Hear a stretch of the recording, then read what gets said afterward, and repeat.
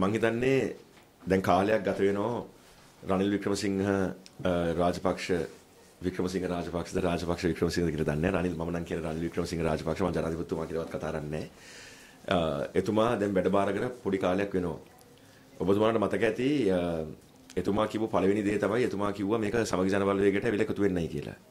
හැබැයි ඒ එකතු වීමක් ගැන කතා කරේ Taman ගිහලා ජනාධිපතිව හම්බ වෙලා එවකට හිටපු ගෝඨාභය රාජපක්ෂව හම්බ වෙලා එයත් එක්ක කතා කරලා සියලු දේ ලෑස්ති කරලා ආණ්ඩු කරනවායි කියලා හිතාගෙන අපෙන් 16ක් 17ක් 20ක් යනවායි කියලා බොරු ලනු කාලා සමගි ජන බලවේගය කඩන්න තියෙන ඒ ප්‍රාර්ථනාවෙන් තමයි මේ ගමන එතුමා ආරම්භ කරේ. ඊට පස්සේ තමයි කිව්වේ සමගි ජන බලවේගයට ඇවිල්ලා මේ දූෂිත ආණ්ඩුවත් එක්ක එකතු වෙන්නයි කියලා. මම දැන් හැමදේ මම හැමතිස්සෙම විශ්වාස කරන්නේ කාලය විසින් හැමදේම විසඳනවායි කියලා. දේශපාලනික වෙලා අපේ පෞද්ගලික ජීවිත වල තියෙන ප්‍රශ්න ඒ සියලු දේ කාලය විසින් තමයි විසඳන්නේ. දැන් බලන්න වෙලා තියෙන දේ. දැන් ඇමතිවරු 38ක් පත් කරා. ඔය ඇමතිවරුන්ගෙන් බලන්න කී දෙනෙක්ට නඩු තියෙනවද කියලා. එක ඇමති කෙනෙක්ට ගම්පහ ඇමතිට ප්‍රසිද්ධ ව්‍යාපාරිකයෙක්ට මං හිතන්නේ අල්ලස් ගන්න මරණ මරණ තර්ජනය කරලා උසාවිය විසින් වැරදිකරුවට වැරදිකරුවෙක් බවට පත් වෙලා දැන් ඉන්නේ අපීල් එකක. ඒ කියන්නේ දැනටමත් දැනටමත් දැන් ඉන්නේ අපීල් එකක. එයයිට දුන්නා ප්‍රධාන පෙළේ ඇමතිකමක් විතරක් නෙමෙයි පාර්ලිමේන්තුවේ වගකිව යුතු කාර්යභාරයක් එතුමාට බාර දීලා තිබ්බා. එතකොට බලන්න අර ඔක්සිජන් ඕනේ නැහැ කියලා කිව්ව මං හිතන්නේ අනන්ත අප්‍රමාණ චෝදනා තියෙන සනත් නිශාන්ත කියන පුද්ගලයාව පත් කරා තවත් ඇමති කෙනෙක් හැටියට. තවත් කෙනෙක් පත් කරා මං හිතන්නේ බන්ධනාගාර පිළිබඳ මොන හරි හිටපු ඇමති කෙනෙක් ඒ චෝදනා තියෙද්දි එතුමාව පත් කරා. ඉතින් මම දැන් එක දෙයක් අහන්න කැමතියි. දැන් රනිල් වික්‍රමසිංහ රාජපක්ෂ හැමතිස්සෙම කියන්නේ රට වෙනුවෙන් එන්න කියලා. දැන් මම අහන්නේ දැන් කියමුකෝ දැන් ජාතික ආණ්ඩුවක් පිහිටුවේ නැහනේ. සමගි ජන බලවේගයවත් ජනතා විමුක්ති පෙරමුණවත් ශ්‍රී ලංකා නිදහස් පක්ෂයේ ප්‍රධාන පක්ෂයවත් මුස්ලිම් කොංග්‍රසයවත් කවුරුත් ගිහිල්ලා මේ ආණ්ඩුවේ ඇමතිකම් බාරගත්තේ නැහැ. එහෙනම් ඊළඟට මොකද කරන්න තියෙන්නේ? Tamanගේ ආණ්ඩුවක් හදන එක Tamanගේ ඉන්න සොල්දාදුවන් එක්ක, සෙබළුන් එක්ක. දැන් එතකොට 38ක් දුන්නේ ඇයි? එහෙමනම් ඇයි පොහොට්ටුවේ මේ මහ ලොකු ಜಾති ආලය තියෙන මේ ಜಾතිය ගැන මහා ලොකු වීර කතා කියන ඔය කට්ටිය ඇයි කිව්වේ නැත්තේ? අතිගරු ජනාධිපතිතුමනි අපිට තව අවුරුදු දෙකක් තියෙනවා ඡන්දෙට. අපි ඔබතුමාට මේ රට හදන්න සහයෝගය දෙනවා. අපේ 38ටම ඇමතිකම් එපා. ඔබතුමා අපෙන් 15ක් ගන්න. අපි ඒගොල්ලෝ නම් කරන්න. ඉතින් ඇයි එහෙනම් 38ක් පත් කරේ? 38 පත් කරනකොට රට ගැන හිතුන්නේ නැද්ද? දැන් ඒ ඇමතිවරු කියනෝනේ අරුන්දික ප්‍රනාන්දු වගේ ඇමතිවරු කියනවා සමගි ජන බලවේගය මේක බාරගත්තේ නැති නිසාලු මෙතුමන්ලා මේක බාරගත්තේ නැත්තේ. මේ මේගොල්ලෝ මේ වැඩේ බාරගත්තේ. ඉතින් මං අහන්නේ වැඩේ බාරගත්ත නම් දෙන්නේ වැඩේ හරියට කරන්න එපා අපිටත් වැඩිය හොඳින්. එහෙනම් මුළු රටටම ආදර්ශයක් දෙන්න එපයිනේ. හැබැයි දැන් මොකද්ද සිද්ධ වෙලා තියෙන්නේ? දැන් සිද්ධ වෙලා තියෙන්නේ ඔය 38 නෙමෙයි අදහෙට තවත් 10ක් පත් වෙනවා කැබිනට් ඇමතිවරු. මේ මහලොකු IMF එකට ගිහිල්ලා කියනවා රට වංකොලොත් කියලා. රට වංකොලොත් නම් කොහොමද දෙයනේ ඇමතිවරු 38ක් නඩත්තු කරන්නේ? වාහන, පෞද්ගලික ආරක්ෂකයෝ පරිණඩි පෞද්ගලික ලේකම්ලා සම්බන්ධීකරණ ලේකම්ලා පාර්ලිමේන්තු කටයුතු ලේකම්ලා ওই කටට කවුද පඩි ගෙවන්නේ?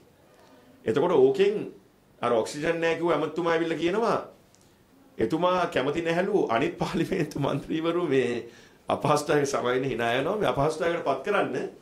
මේ එතුමා ඒගොල්ලෝ වෙනුවෙන් පඩිය ගන්නවලු.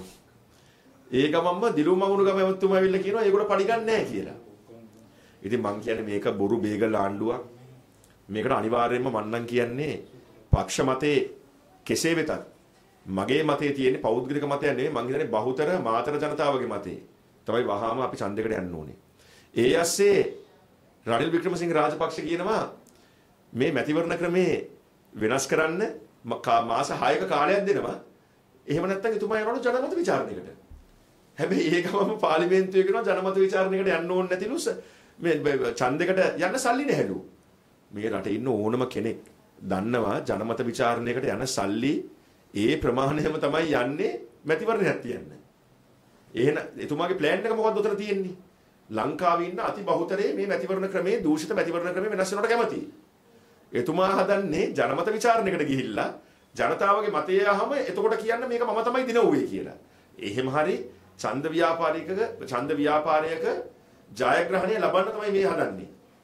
ඉතින් ඊ타මත්ම දැඩි අවවාදයක් දෙන්න කැමති මේ ආණ්ඩුවට ඉස්සෙල්ලා පටන් ගත්තේ සාමාන්‍ය මිනිසුන්ගේ අරගලයක්. දුප්පත් පන්තියට වැඩිය උතන හිටියේ මධ්‍යම පන්තියේ හිටපු කට්ටිය තමයි ওই අරගලේ හිටියේ. විශ්වවිද්‍යාල සිසුන්, දේශපාලන පක්ෂවල සමාජිකයන් නොයෙකුත් ඔය ඔක්කොම එකතු වෙලා තමයි මේ මධ්‍යම පන්තික අරගලය පටන් ගත්තේ. ලංකාවේ ඊළඟ අරගලය දැන් කවුරුත් කියන්න එපා මේක මේ මිනිස්සු බය කරනවා කියලා කියනවායි කියලා. ඊළඟට එන අරගලේ ඊටාමත්ම දරුණු අරගලයක් පටන් ගන්න. ඒ තමයි මිනිස්සුන්ගේ බඩගින්නේ අරගලේ. මම පොඩි උදාහරණයක් දෙන්නම්. මම මම මගේ ආසනේ මම වැලිගම ආසනේ ප්‍රධාන සංවිධායක මම දීව්‍ර ප්‍රජාවත් සමග නිතරම ඉන්න කෙනෙක්. හැඬැල්ලෝ හැඬැල්ලෝ කිලෝ එක මට මතක හැටියට ඒ කාලේ තිබි රුපියල් 350ට වැඩිම රුපියල් 400 දැන් රුපියල් 1800වත් හැඬැල්ලෝ ගන්න බෑ. රුපියල් 2000ටවත් හැඬැල්ලෝ ගන්න බෑ. දැන් මිනිස්සුන්ට හැඬැල්ලෝ කනවයි කියන්නේ ඒ ඒ ගිය ඒ කාලේ තලපත් කෙලවල්ල කන ඒ ආසාව තමයි දැන් හැඬැල්ල කන්න තියෙන්නේ. දැන් ඇයි මේ හැඬැල්ල අඩු? ඇයි මේ කෙලවල්ලගේ මේ මිල වැඩි? ඇයි ඇයි මේ හැඬැල්ල මොකද්ද මේකේ මේ මේ මේ හේතු කාරණා මොනවාද? ඊටාත්ම පැහැදිලි හේතු කාරණාවක් තියෙනවා. ඒ තමයි මේ ආණ්ඩුව මාස 4ක් තිස්සේ දීවරයන්ට Tamanගේ භූමි තෙල් ටික දීලා නැහැ. Tamanගේ බෝට්ටු වලට දුවන්න. කෝස්සොරු වල එහෙම නැත්නම් පොඩි ඔරු වල සාමාන්‍යයෙන් ලීටර 40ක් නැත්නම් 60ක් යනවා දවසට. මේ ආණ්ඩුව සමහරලාට මාස 3කටවත් දෙන්නේ ලීටර 40යි. ඒතර බෝට්ටුකාරයෝ මොනවද කරන්නේ? මේකට මික්ස් කරනවා පෙට්‍රල් නැත්නම් ඩීසල්. ඊට තමන්ගේ බෝට්ටු කැඩෙනවා. ඊයේ පෙරේද මට දීවර ප්‍රජාව මම හම්බ වෙන වෙලාවේ කිව්වා අද හෙට අපි අනිවාර්යෙන් ඔරු ටික දානවයි කිව්වා කොළඹ මාතර ගාලු පාරට. ඉතින් මං කියන්නේ ඊළඟ එන අරගලේ විහිළුවක් බවට සලකන්න එපා. ඊළඟ පාර අරගලේ මිනිස්සු බහින්නේ කැත්තයි පොරවයි පිහි අරන් මිනිස්සු එළියට බහින්නේ.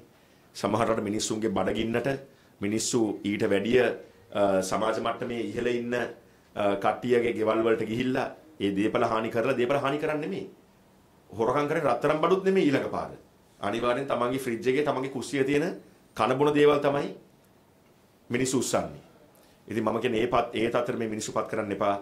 ජනතාව ඉල්ලන්නේ ඡන්දයක්. ජනතාව ඉල්ලන්නේ බොරු ජනවරමකින්පත් වෙච්ච දූෂිත රාජපක්ෂරුන් එක්කලා එකතු වෙලා ඩීල් ගහපු සංස්කෘතියක් නෙමෙයි දැන් බලාපොරොත්තු වෙන්නේ. ඉතින් මම කියන්නේ මේ ආණ්ඩුවට වහම ඡන්දයක් තියන්න.